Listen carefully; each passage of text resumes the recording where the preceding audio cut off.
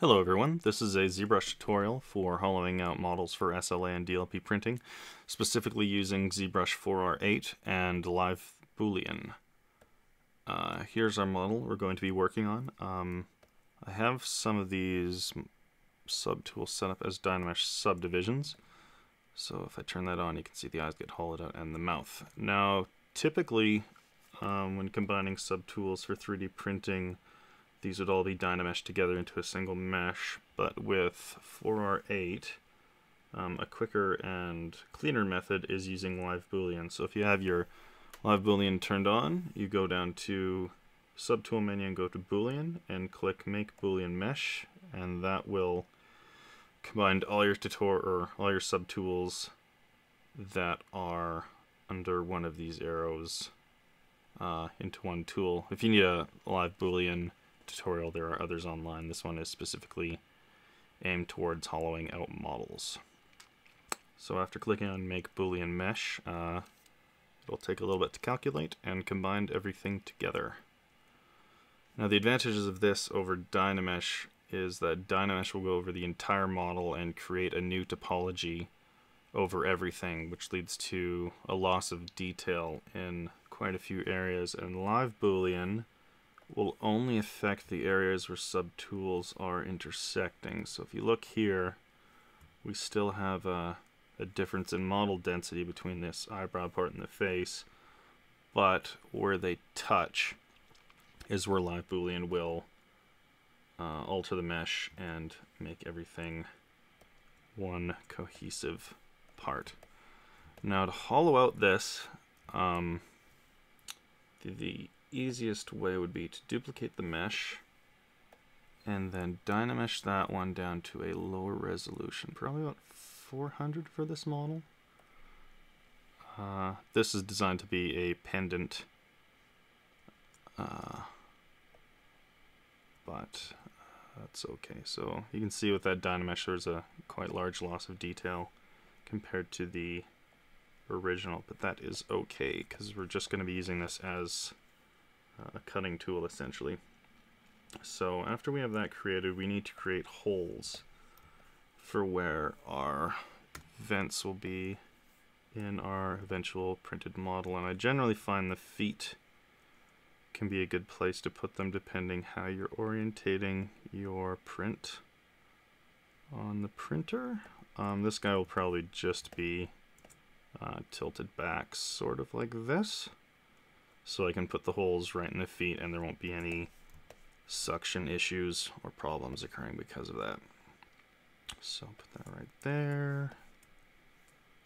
Slide it up into the foot a little bit, duplicate it, slide it over. Because having two holes will allow um, ventilation to be a little bit easier. So we have those in place, and now we have to switch those to a subtraction subtool. Take this Dynamesh, merge it down, and now we need to create these shells. So you go to Dynamesh, create shell, and I generally go about 9 or 10. It is, um, depends on your model thickness. This guy is about 40 millimeters tall, but uh, 10 should be good. And create shell. This usually takes uh, a fair amount of time to calculate, which is why I use a fairly low resolution Dynamesh to work off of. But, um, yeah, just wait for it to uh, work it out.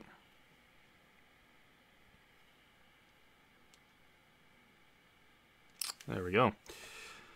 Now you can see our model is hollowed out. And now we need to separate this interior hollow from the exterior. And usually I would try and separate these by polygroup. But you can see the interior has several different polygroups and it's kind of a mess. So the easiest way to separate these is just to turn on symmetry for this, I think and mask off just on the outside of this hole.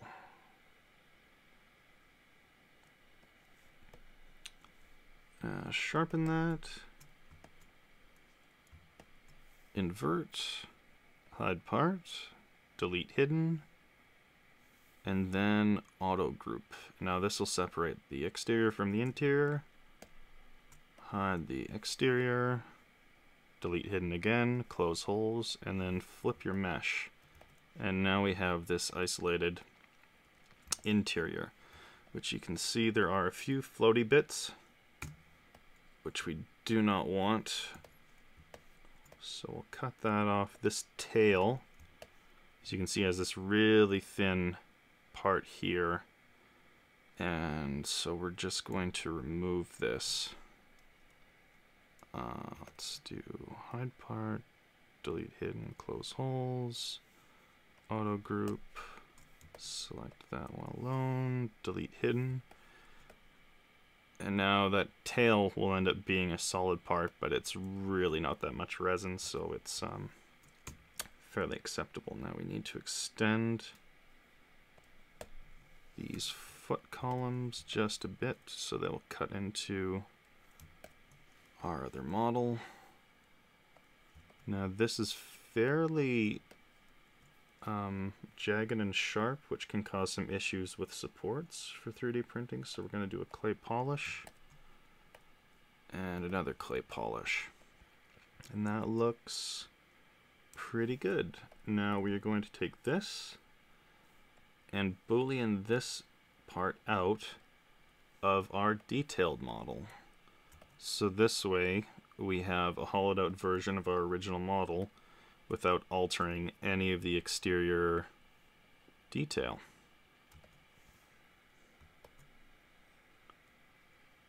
And once you have those selected, put this as a Dynamesh uh, subtraction. Boolean your mesh together.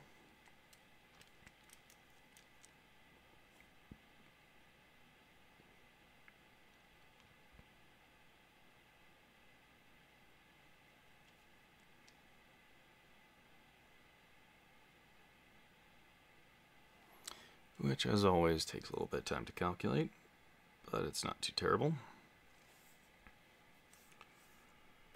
And there we have our model with high detailed exterior with a lower res interior, hollowed out, and almost ready to print.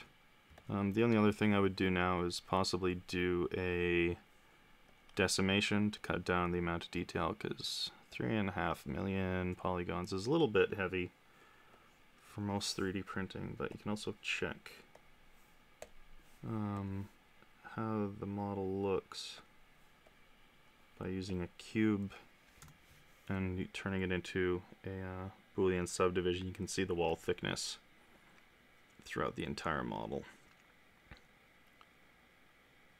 And you can preview if there's any uh, parts that might be too thin, but there shouldn't be. Sometimes clay polish can thin out some areas a little bit much where you might want to thicken the walls up, but other than that, it's done and good to go.